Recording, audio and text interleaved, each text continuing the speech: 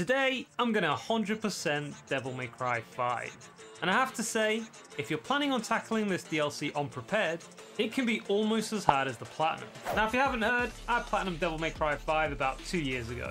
It was my greatest gaming achievement up to date, and I'm still riding that hype train.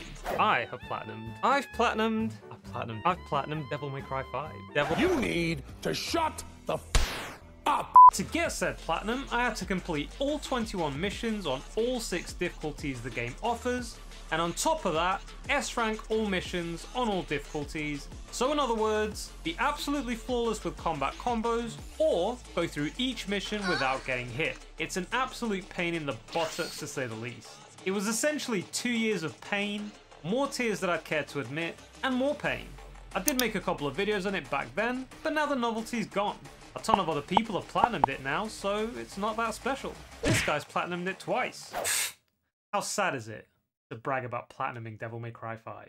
Now it's worth noting Troy also made a video ranking most of the Trophy Hunter YouTubers in an Ultimate Platinum YouTuber tier list. And I'm gonna be honest here, I don't usually trust anybody that has hairy ears or if they're named after a location. But it's a new year, so you know, I'll make an exception. Now feel free to go and watch the video, but long story short, yours truly got a B rank. Not bad if I say so myself. Now with Devil May Cry 5 being the peak of gaming mastery, it made me wonder, what rank would I get if I 100% did Devil May Cry 5? F. Anyway, the main hype about the DLC is being able to play as Virgil, arguably the cooler twin. Even though most of you guys don't think so. You're obviously not motivated enough. In addition to this, we'll need to complete the Bloody Palace with all available characters. A mode where you take on waves of enemies throughout 101 floors. The catch here is, if you die, it's a game over and you get sent back to the beginning. So essentially permadeath. Pretty brutal. And this is where the difficulty comes in if you go into it unprepared. But we'll get to that in a minute. First, let's break down the trophies. There are only five in total for the DLC, four bronze and one silver. Seems hardly worth my time. Like any other game though, we needed a plan. You leave the planning to me. Step 1 was to complete the Bloody Palace with the three main characters. Step 2 was to unlock Virgil and complete his missions on Dante Must Die difficulty in order to unlock his super costume. Step 3 was to complete the Bloody Palace with Virgil. And finally, Step 4 was to pop the final miscellaneous trophy. So with that in mind, let's get to it. Drop my beat. Whoa, I'm a big bag hunter with the bow. She got a big no. So first in line for the Bloody Palace was V. Now it's worth mentioning that rank doesn't matter in Bloody Palace. Thank God. So you can use auto combo and the super costumes for infinite Devil Trigger. The only catch is, your health doesn't regenerate while in Devil Trigger mode. Now I did choose V's super costume, and naturally since I hadn't played for a couple of years, I was a bit rusty. Nonetheless, I decided not to activate auto combo. I wanted to be honourable. How do we turn auto combo on? Aha! That didn't last long. Now after auto combo was activated, it was absolute child's play. I cleared each stage quicker than when Bitcoin crashed, and playing with V was basically button mashing the game. Button mashing for the win. Even when I reached the boss stages, it was incredibly easy. All I gotta do is run. My fingers are getting tired of button mashing, I'm not gonna lie. Hi Goliath, nice knowing you. Falcon Punch! Nice. And let's get one thing clear, I'm definitely not complaining. Yet. It was so easy with V, I didn't actually get hit until stage 35. And that's only because of V's stupid auto kill. God, the amount of failed S ranks I got because of that. Now, I'm not going to say I didn't get hit again, because that would be a lie. The difficulty does rank up every 20 floors or so, but it was still easy enough to work through. I cleared stage after stage, slicing demons like a pizza delivery guy on turbo mode. Until stage 90 arrived. Cerberus was a bit of a wake-up call. Run! I got hit more times than in any other stage, and unlike the previous stages, I was forced to be on high alert. It wasn't the hardest boss I've ever fought, but it was definitely a change from what I'd fought before.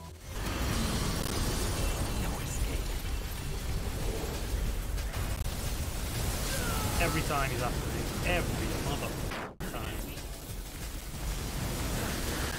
Correct.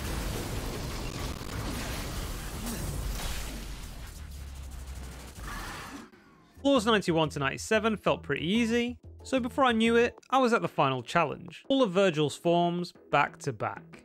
The first phase was easy enough, since all I had to do was break the crystal, and all he did was sit there like a plum. The second form was a little bit trickier, mainly because of those annoying tracking tentacles, and we all know how dangerous tentacles can be from all the hentai. That's every time that gets me. The strategy here was to just run in circles and let my beasties do the work, while continuously failing to dodge the tentacles. Now I can only assume this boss was a reincarnation of a phone book because he just refused to die. Oh, you fanny. He's got like 1 HP, man. I can't believe he brought the crystal out with 1 HP. That's just shit. Still did it. Surprisingly, the third form was the easiest for me. I used the same strategy as the previous stage, and since he'd shed his tentacles, he had the same amount of danger as Sakura in Naruto. Emotional, damn it! Alright, Virgil time. Now, I believe in the famous phrase, if it works, it doesn't need changing. So I used the same strategy. As expected, it did work. Until he busted out his Devil Trigger. Then things started to get a little tricky. Getting serious now. Definitely getting serious.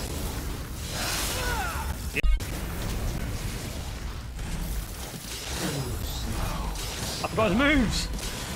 Hit three. Yeah,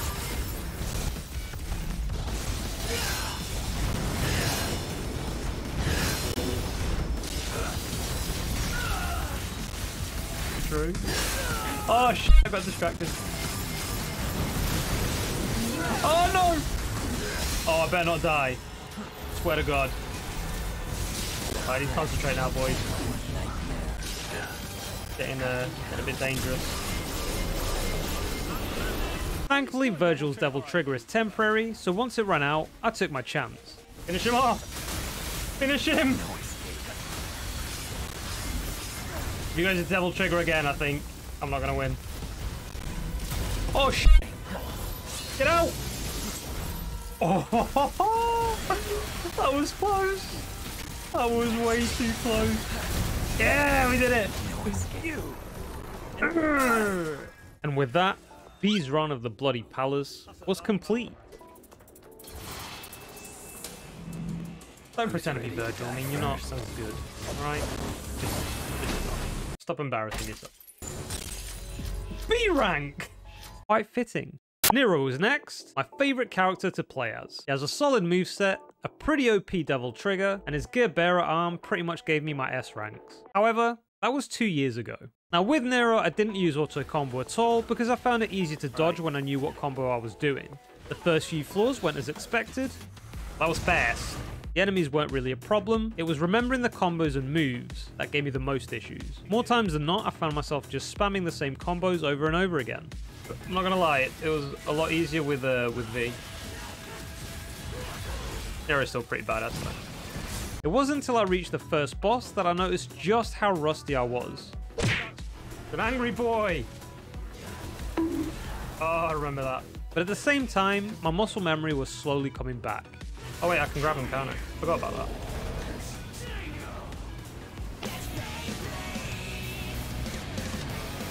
Get launched! That's a lot of damage. Time to die. I carried on powering through, and since I'd remembered that Nero actually has a grab, I started using it more to look more badass.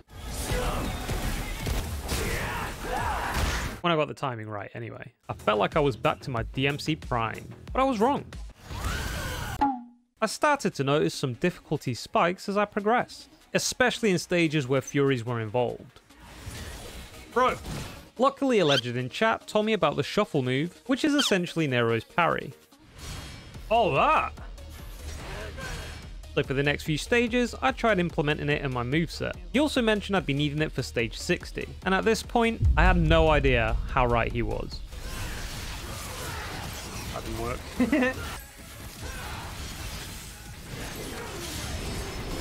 oh, it worked! Gotta get the hang of this. I'm not. I carried on getting valuable advice from chat. Don't get hit! Why didn't I think of that? Before I knew it, stage 60 was next. Since I'd never fought this boss with Nero, I approached it as I would any other boss.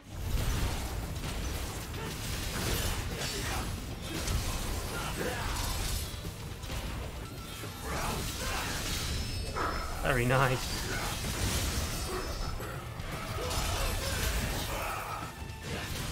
And quite honestly, it was going well. But the moment this guy turned Super Saiyan, Oh, all right. Shit. I'm gonna die. Oh my god, I'm so dead. It was over faster than a can of Coke blowing up in your face when you drop it down the stairs. A full hour of progress lost. But I wasn't ready to give up. This time I decided to take my time, practice parrying and counter-attacking so I was better prepared for stage 60. Even though I lost more health in this run, it felt much more natural playing with Nero and I cleared the stages a lot faster. Come on. Wrecked. Die.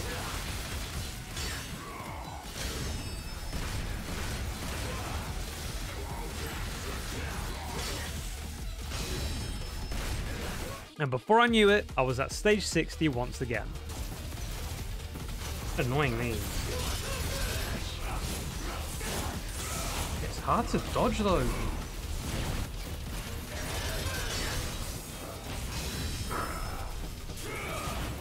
What happened there?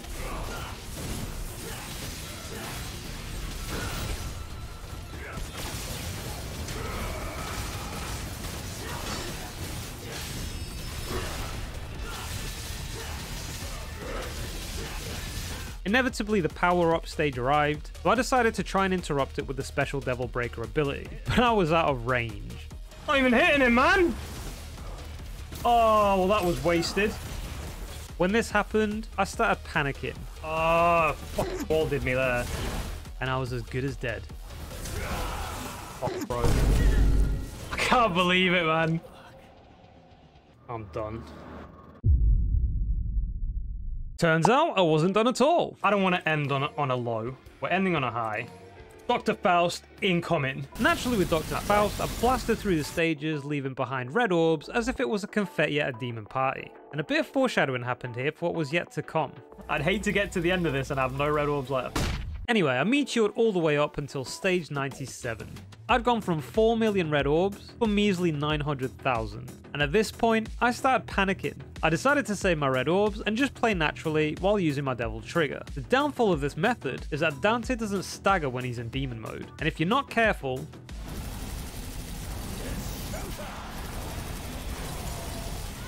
Oh bro, what? No. Oh, I can't believe it! Nothing but failure. You were an embarrassment. With back-to-back failures, I decided to do something I've never done before in this game. Not even when I was going for the platinum.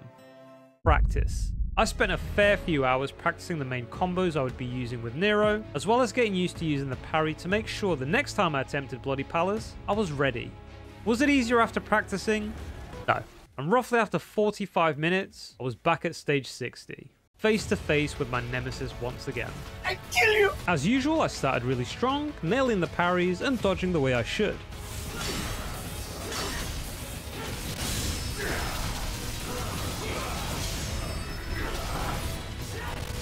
It was then time for the power-up stage, and it's over.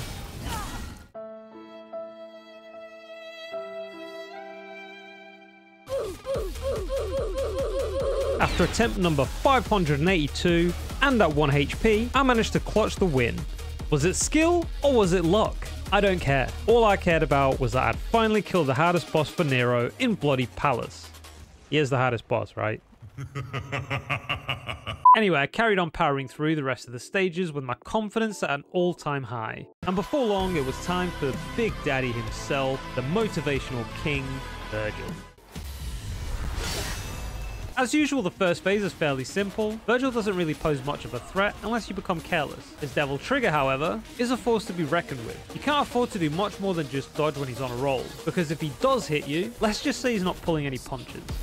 Oh Now, I didn't really notice this with V, or maybe I didn't give Virgil enough time, but he summoned his doppelganger here, and my god, did get real. I was getting hit from every single direction I turned to. I felt like I was in Birmingham or something. I hate the fucking place! Luckily, just like his double trigger, the doppelganger is also temporary.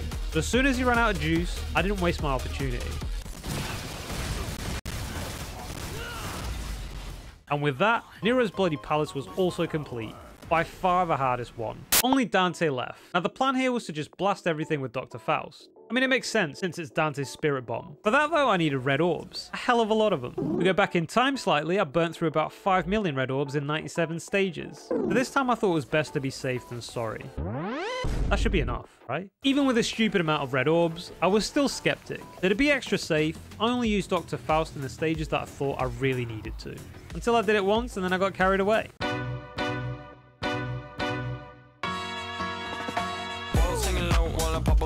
Pop a of your chain swinging, clang clang, and it costs a lot. Bitch, I'm always after Guella, yeah, and you are not badass beat. Keep on going till you hit the spot. Whoa, I'm a big bag hunter with the bow.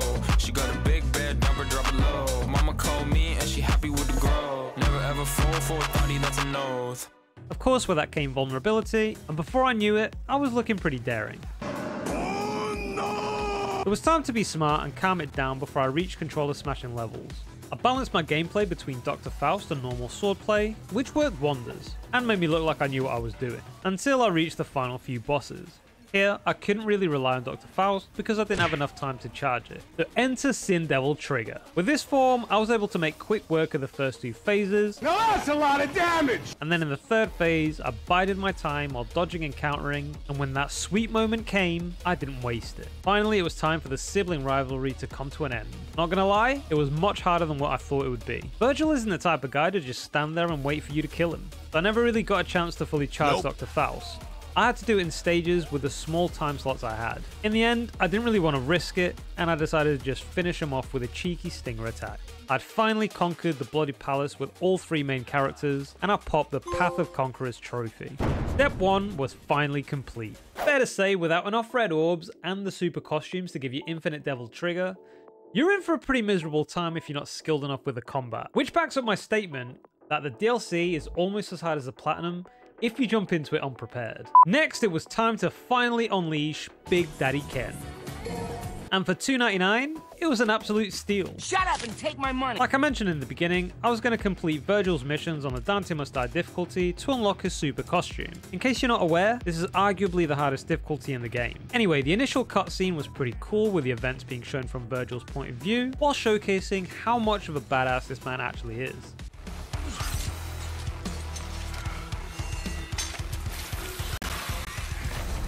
Playing as him, however, was a different story.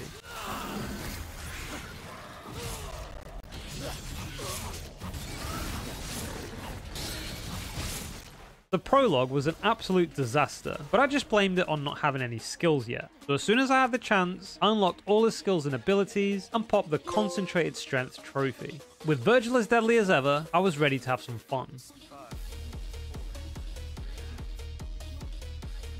Turns out it was the demons that were having all the fun instead. Playing with a new character for the first time on the hardest difficulty isn't the best idea. On top of not having a clue what his moves were, I found it really awkward not having a double jump and having to press X and then circle to do one. So I died. Quite a lot. Luckily, I had a healthy amount of red and gold orbs that kept me going. When I reached mission 4, I got absolutely destroyed by the boss. And my patience ran out. I knew I had two choices. I was either going to learn how to play as Virgil properly or activate auto combo. I chose auto combo. Disgusting. Say what you want. I just want to get this DLC finished. I got my backlog to get back to. With auto combo on, it truly shows just how badass Virgil actually is, and how cool I would have looked if I decided to take the time to learn his moveset. Now I still died. A lot.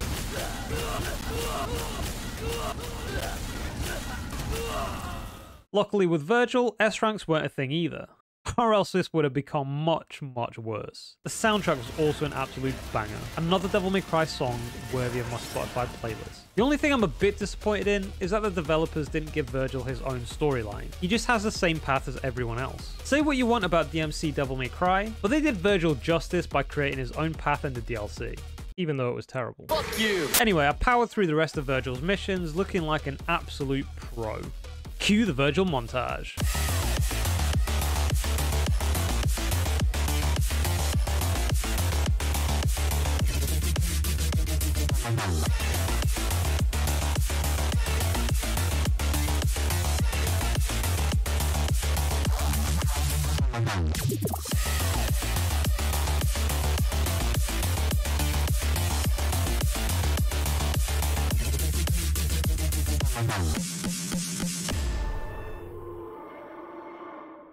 Then I reached Dante. He was stood where Virgil would have been, which was a touch I liked. Oh my god, what a banger! Anyway, I expected him to have a ton of combos and different weapons. What I didn't expect were all the stun locks. I genuinely feel like I died more often to Dante's two phases than all the other missions combined.